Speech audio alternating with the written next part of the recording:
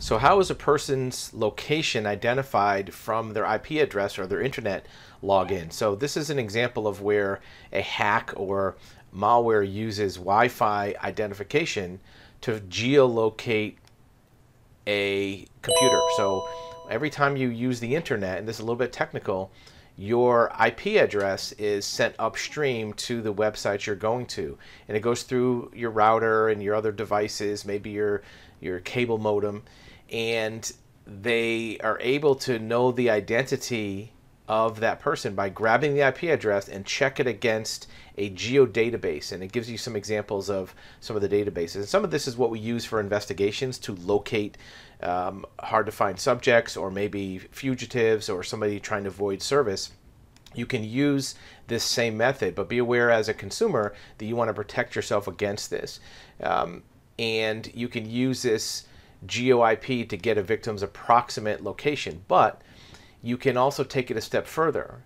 You can also now use a BSSID, which is a basic services set identifier. It's the MAC address or the physical address of the wireless router that the user is connecting, meaning that it's where your router is located. The router that's in your office, you know, we have one here, everybody has one in their office or even in their home, has a physical address.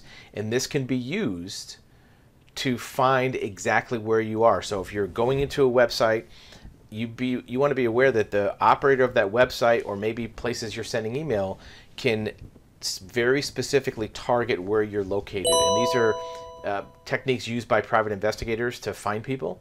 Uh, but you want to be aware that as a consumer, you might be vulnerable to your location being discovered just simply by using the internet. And um, people that are doing identity theft may be able to use this to find out your name and address for bank hacking, for other account hacking, and maybe even to um, hack your mail. Sometimes people will get your uh, physical mail from your mailbox to be used as documents to do identity theft. The way that it's done is there's a database that allows to determine the physical geographic location of the Wi-Fi access point because anytime you're using Wi-Fi, it's sending out a signal, and sometimes that signal also goes into the cell network.